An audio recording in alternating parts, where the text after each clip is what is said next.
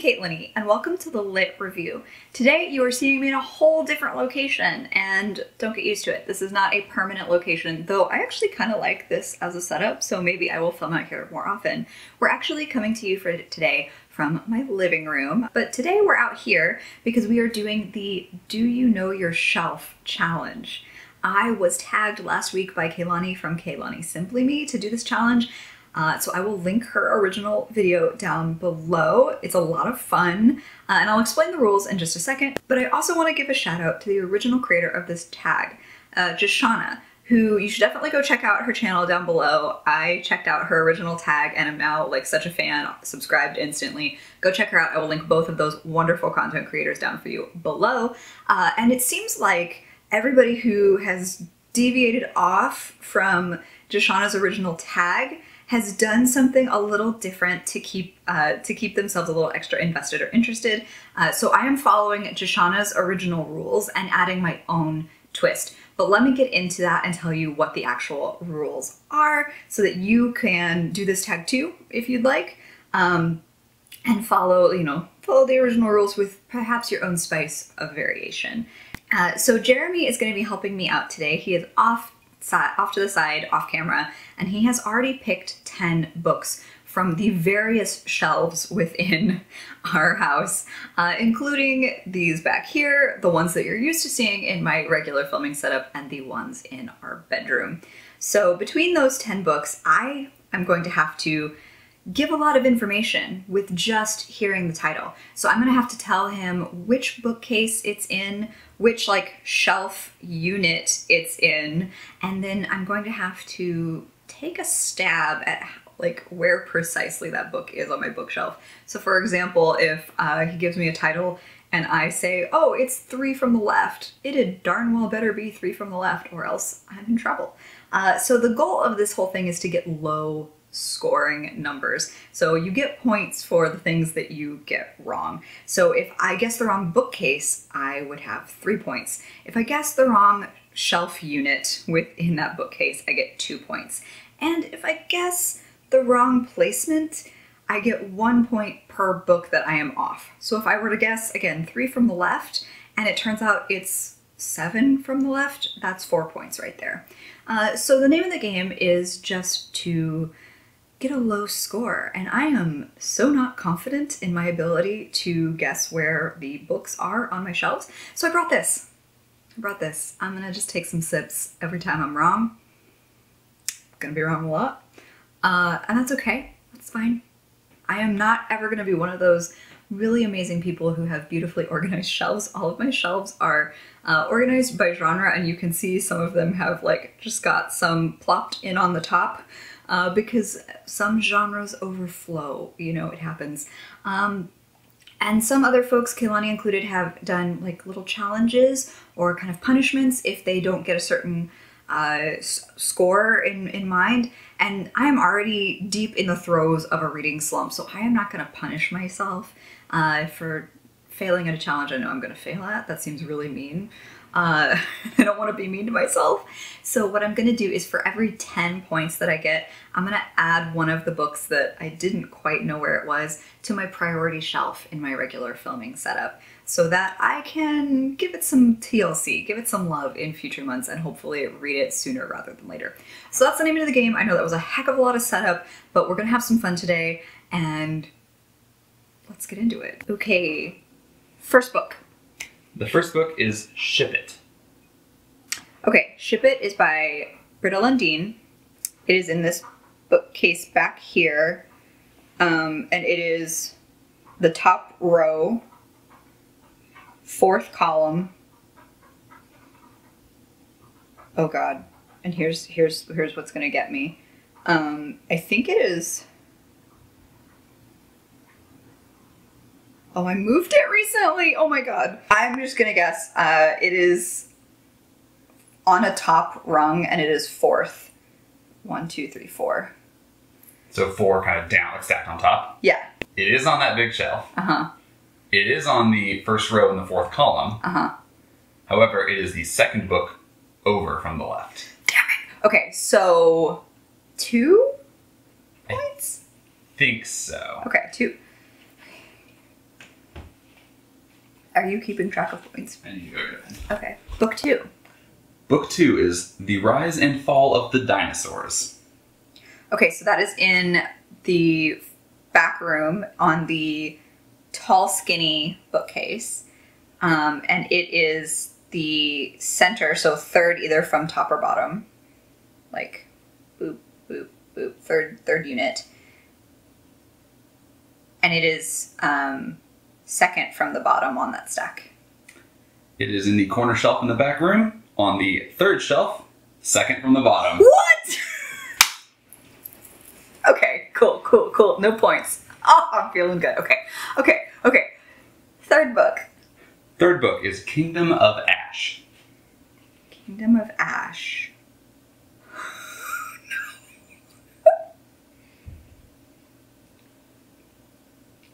oh no. Okay. Um I think that I think that's back there. Uh, it's on our back bed bedroom bookcase. It would be in the fourth shelf. Uh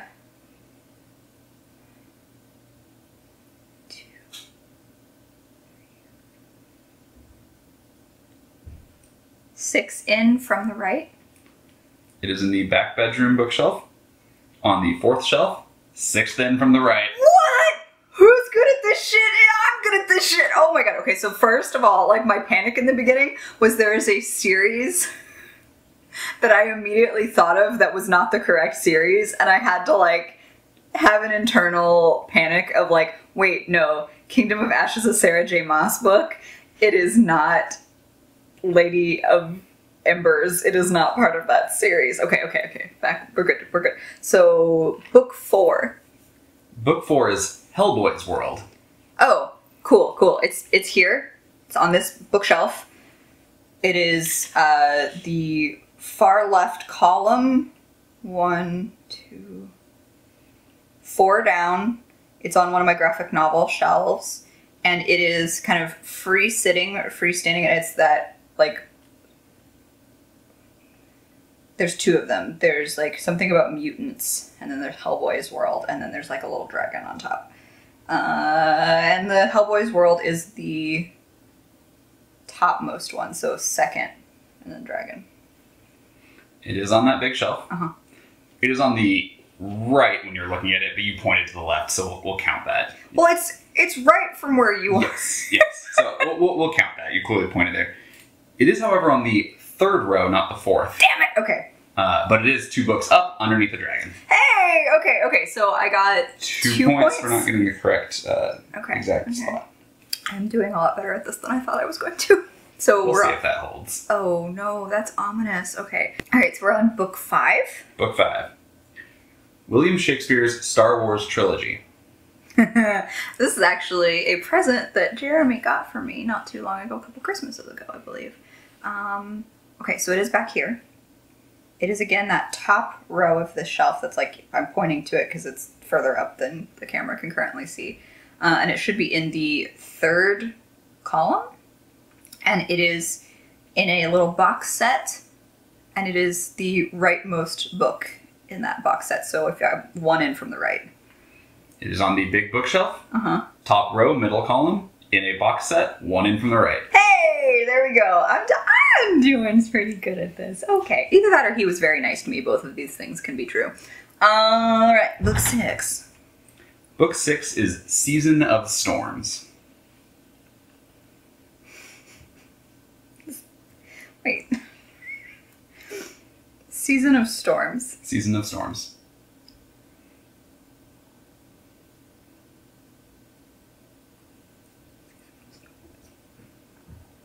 This isn't one of your books? Fuck. okay. No, don't need no peeking. Um clearly I don't know where this book is, so we're just gonna we're just gonna Season of Storms. Oh, okay. I maybe know what this could be. I think it's a C.L. Wilson book. His eyes give me no clues. Um, okay. Uh, so I'm gonna I'm gonna just shoot my shot and and take a shot if I'm wrong. So uh, I think we're in the bedroom bookcase. Uh, sixth shelf. And I have no freaking clue which one in it is, so I'm gonna say three from the right. Rep check. Okay. Your confusion on this actually has me concerned that I wrote something down wrong. I have this on your priority queue on your desk. Oh shit!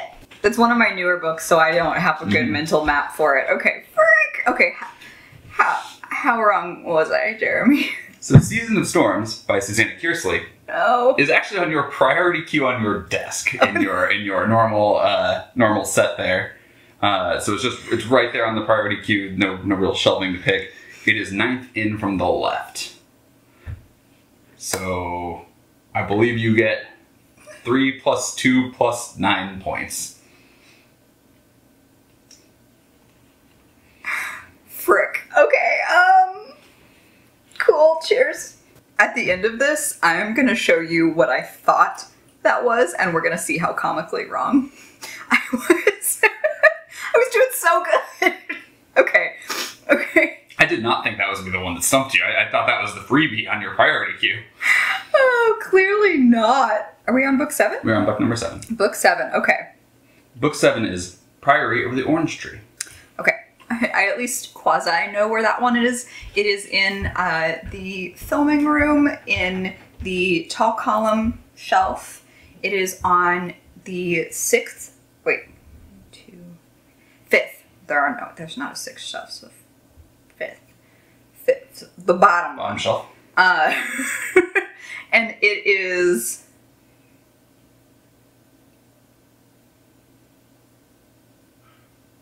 Fourth in from.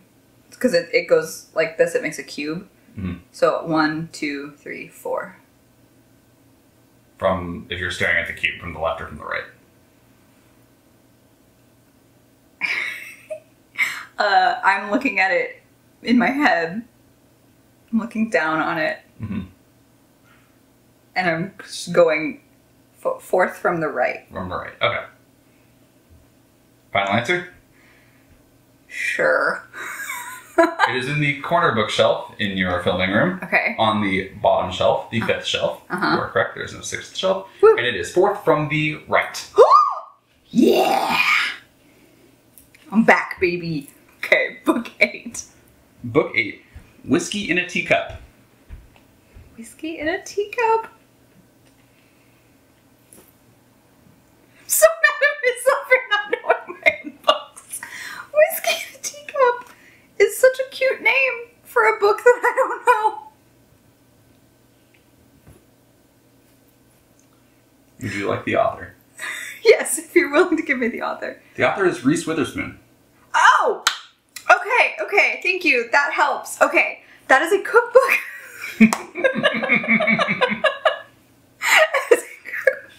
In my head, I was like, this sounds like a cute anthology, a cute women's fiction anthology, but if it's by Reese Witherspoon, then it's a cookbook.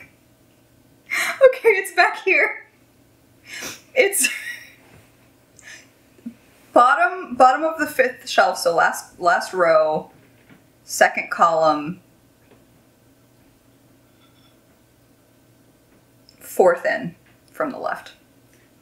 It is back there on the big bookshelf, on the bottom or fifth row, second column, and it is second in from the left. Oh, okay, okay, not too bad, not too bad. So you get two You- points for that one. You were very gracious and gave me an author clue. okay, two more, two more. Um, book nine. All right.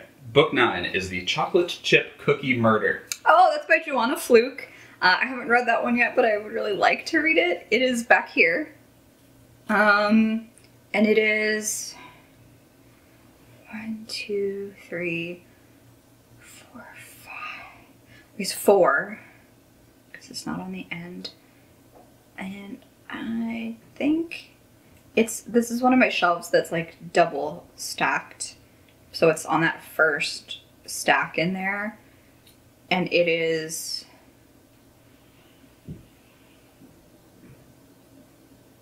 Ugh.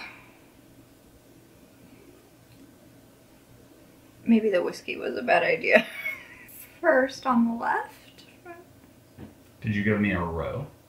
Uh, yes, the it's like so. There's two stacks. Oh, oh you mean like on the, the bookshelf? row on the bookshelf, yes. Okay, so fourth. Yeah, I don't think I fourth did. column. I don't think you gave me the row. Okay. Third, third row. Third row, fourth column. Yes. And you said uh, how many in? One. From which side? It's it's like the first in the little stack. stack 'em, so I guess left. First on the left? Yeah. Chocolate chip cookie murder Uh-huh. is on the big bookshelf. Uh-huh. It is on row three, column four, Cool. fourth from the left. Damn it. Okay. Okay. Okay. Okay. You know what? Still proud that I knew where that one was. Sort of. Okay. Okay. Last book, book ten. Book 10. Six, Styxx. with two X's. Ah! Okay, thank you. I, I was mentally spelling it like the word sticks. So that is by Sherrilyn Kenyon. Uh, that is in the back room. It's one of my romance novels. So it is two, three, shelf five. And this one has two rows and stackums on top. It is a very crammed bookshelf. Uh, but it's on the the second long ways stack, the second like the actual shelf. Fourth in from the right. It is in the bedroom bookshelf. Uh-huh. On the fifth shelf. Uh-huh. Sixth in from the right. So close. okay. Okay. So 10 books in, hmm you have 25 points. Okay. You know what? This is way better. Way freaking better than I thought I was going to. Okay, so um first I'm going to show you some of my terrible errors. Um specifically there was one really big oops. Really big oops on my part. Uh sorry Susanna Kearsley.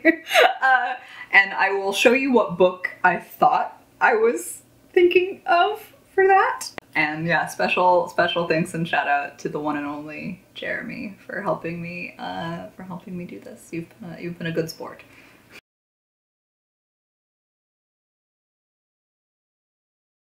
All right, what's what? Are you ready for bonus round? There's a bonus round. Hell yeah! Okay.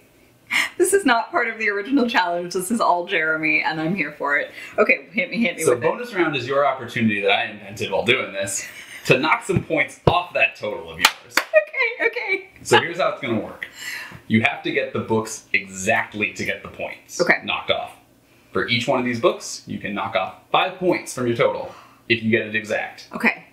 So you have 25 points going into the bonus round. You get all three of these correct, you can knock it down to 10. Okay, okay, okay. Wow, you are an extra special, special guest because you gave me an out and you spoke to my competitive edge. I mm-hmm. like it. All right. All right, and, and I, I will also acknowledge that in order to make this bonus round work, I had to go to books where the author has been kind of problematic, so I do apologize for that. But we are going to Harry Potter because you and I have three different versions of Harry Potter and the Sorcerer's Stone. Okay. Can you tell me where all three versions are? For each one you get exact, you take five points off your total. Okay, cool. Um, so first of all, on this channel, I have a rule that if I mention the old HP, I donate to a trans uh, forward charity. So you'll be able to find the link for that charity that I've donated to down below. Uh, I usually do about $25, the price of a very special hardback. Uh, and it's my way of offsetting all of the negativity uh, that that author has now brought into the space that has for most of my life been very, very positive. I know it is not a perfect way to address these issues and her her statements online are deeply problematic and I do not support them. Uh, but I do support the trans members of this community. So I will be making a donation. Uh, please feel free to join me. Of course, there is no pressure. But let me tell you where the shit is. So, uh, the reason we have so many copies of this book is we have my original copies, uh, we have Jeremy's childhood copies, and then uh, before J.K. Rowling made her super public problematic statements that revealed how close to the dark side she is, uh, we bought some of the illustrated editions, but we don't we don't buy those anymore. Uh, so you said Sorcerer's Stone. Sorcerer's Stone. Okay. So the illustrated version is in this big bookshelf on the top row, fifth column, second in from the right. That is correct. What what? You get to remove five points for the illustrated version. Okay. And the second version, my childhood version, is also on this big bookcase. It is not in any of the rows or columns, it is on top of it. So it would be first. It's dead center, That is, so. that is correct. Okay. That is the hardcover. That is the hardcover. Okay, and then Jeremy uh, broke his childhood copy so thoroughly that he has a paperback or had to replace his with a paperback that he could read. Correct? No. No? Wait, wait. My childhood copy was always a paperback. Really? Yep, the first one that I was given uh, by my grandmother was a paperback. And I bought the rest in hardcover, and it doesn't match, and it drives me crazy. Okay. That's fair. So that is in the shelf in our back bedroom. It is the third shelf, 10 books in from the left. Very close. It is back there on the third shelf. It is eighth in from the left. Damn it. So you do not get those. However, I will also be matching your standard donation for each of the two you did get right, as I have put this onto the channel. uh, so I'll, I'll match that $25 donation twice Yay! uh, for a $50 donation to the, the charity of your choice. Thank you. Appreciate that. Awesome. So that means I get to take 10, 10 points, points? off. Okay. So Your final score is 15.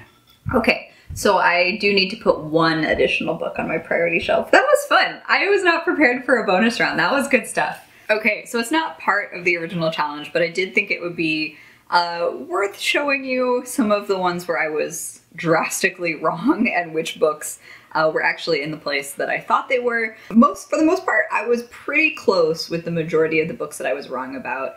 Um, there's only a few that I was enough wrong for me to pull. Uh, so when Jeremy gave me Chocolate Chip Cookie Murder, which I haven't read yet, but would really, really like to read, uh, I thought this was first on a stack. It's actually like right back here on this shelf, right here uh, is where it normally lives.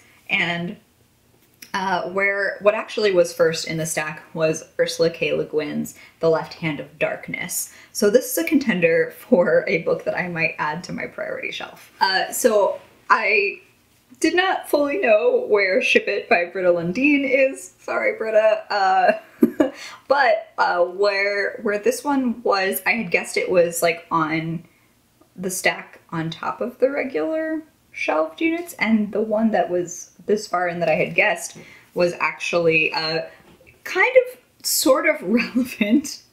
Uh, it's The Con Artist by Fred Van Lent. So these are both books that take place uh, during like Comic Cons and have to do with fandom, although they take very, very different narrative turns. Uh, so The Con Artist is one of my contenders for uh, putting on my priority shelf.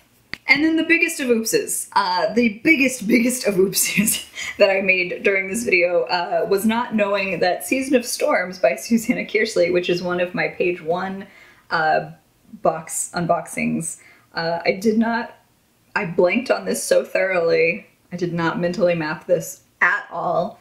Um, this was on my priority shelf.